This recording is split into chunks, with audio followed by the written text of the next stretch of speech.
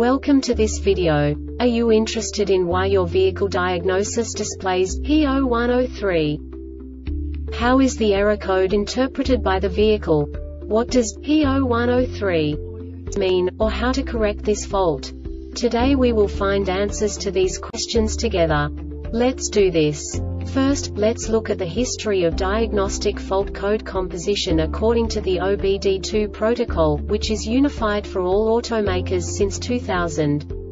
We divide the electric system of automobile into the four basic units. Powertrain, body, chassis, network. This distribution is defined in the first character code.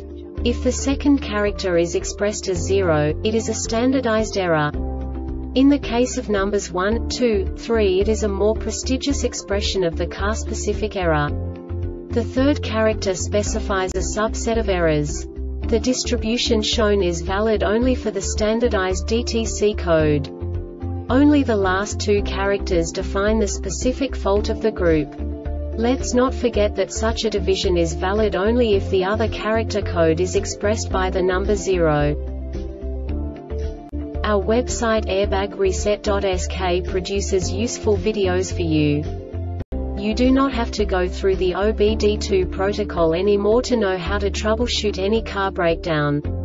You will find all the diagnostic codes that can be diagnosed in a Audi vehicles. Also many other useful things. The following demonstration will help you look into the world of software for car control units. You unbelievably can move the video a bit further. The error code is split into two bytes consisting of 16 bits. One bit is the basic unit that each computer works with.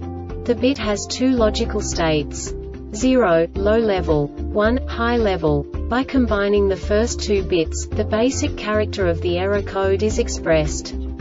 The next two bits again determine the second character. The last beat styles of the first byte define the third character of the code. The second byte is composed of a combination of 8 bits. The first 4 bits determine the fourth character of the code. And the combination of the last 4 bits defines the fifth character. A single byte conceals 256 possible combinations. We now know in what way the diagnostic tool translates the received information into a more comprehensible format.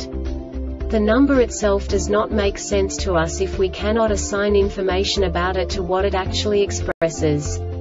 So, what does the diagnostic trouble code P0103 interpret specifically Audi car manufacturers? The basic definition is mass or volume air flow a circuit high input. And now this is a short description of this DTC code. Time after engine start, higher than 150 rev. This diagnostic error occurs most often in these cases.